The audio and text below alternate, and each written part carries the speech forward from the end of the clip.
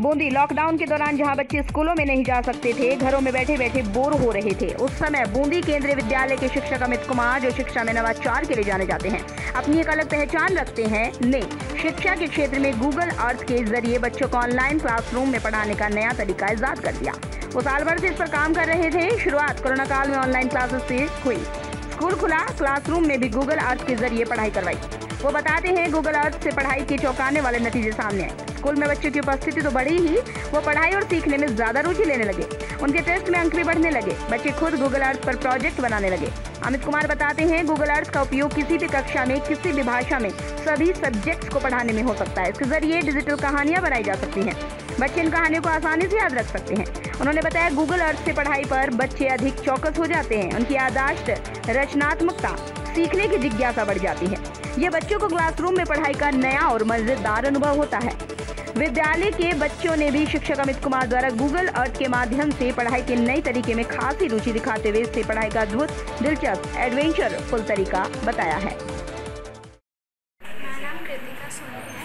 अब मैं कक्षा कक्षा नौ की छात्रा हूँ, केंद्रीय विद्यालय बूंदी से, और हमने गूगल अर्थ से बहुत कुछ सीखा है।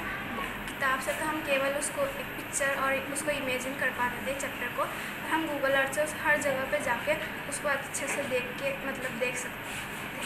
और हमने ना नेचर वॉक पे एक वो प्रोजेक्ट बनाया था जिस पे ना अच्छे से हमने बहुत सारी सेंचुरीज और वैलीज और वो लेक मेरा नाम आयुष पंचाली है। मैं क्लास एट में पढ़ता हूँ जब मुझे अमित सर ने लॉकडाउन था जब मुझे अमित सर ने गूगल अर्थ के बारे में बताया तब हम घर पे रहते थे और बहुत बोरिंग फील करते थे। जब हमने स्ट्रीट व्यू देखे तो बहुत अच्छा लगा यूँ लगता था कि हम वहाँ पे ही हैं। इसलिए हमें बहुत अच्छा लगा।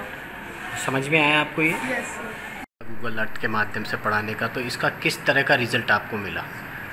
सर ये जो नवाचार है ये शिक्षा के क्षेत्र में एक नई पद्धति दे रहा है, जिससे आप किसी भी सब्जेक्ट्स को एक्सपीरियंसली और जॉयफुल इन्वायरमेंट में कोलोबरेटिव वे में बच्चों को पढ़ा सकते हैं। बच्चे एक ही प्रोजेक्ट पे काम करते हैं तो वो आपस में सीखते हैं और उनको एक ऐसा अनुभव होता है कि वो उस जगह पर ही हैं और उस जगह को महसूस कर रहे हैं। और क्लास का वातावरण काफ़ी अच्छा रहता है और बच्चे इस पर इंटरेस्ट लेता है और अटेंडेंस भी बढ़ गई अगर एक तरह से बोले तो बच्चों को आपने इंटरनेट के माध्यम से और गूगल के माध्यम से वर्चुअल यात्रा कराई उस जगह का पूरा किसी भी कोने में बच्चों को इसके माध्यम से मैं घुमा सकता हूँ। तो वो जगह